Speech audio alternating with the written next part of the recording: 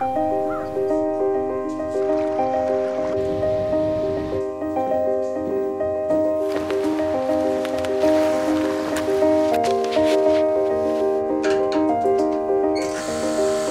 Name ist Jan Frodeno. Ich bin 30 Jahre alt und ich bin Profi-Triathlet.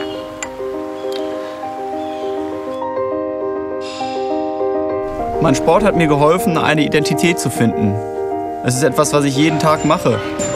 Es ist meine ganz große Leidenschaft und erfüllt mein Leben. Oft gibt es Tage, an denen ich lieber auf der Couch sitzen bleiben würde. Und trotzdem muss ich raus und überwinde mich.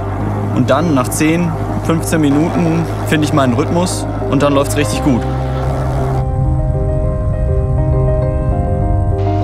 Am Wettkampftag kommt dann, zumindest im Idealfall, alles zusammen. Denn keiner sieht die schweißtreibenden Stunden an den vielen Trainingstagen vor der Saison.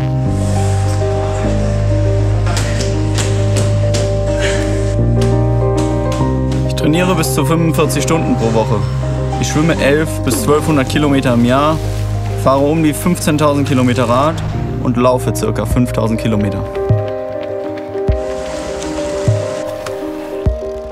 Es gibt Tage, an denen du zu fliegen meinst, aber manchmal hast du das Gefühl, du kämpfst gegen dich selbst. Jede der einzelnen Disziplinen erfordert 100% Hingabe und Einsatz. Und der Großteil meines Trainings läuft auf diese Stunde 45 hinaus. Sport ist einer der wenigen ehrlichen Maßstäbe im Leben. Wenn du gegen deine Gegner antrittst und gegen die Stoppuhr. Manchmal ist er gnadenlos ehrlich, an anderen Tagen absolut fantastisch.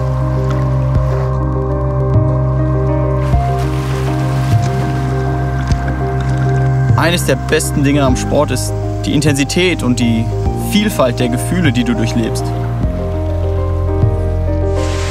Triathlet zu sein ist ein derart brutaler Job, dass du wirklich leben musst, was du tust. Sonst kommst du nie an die Spitze.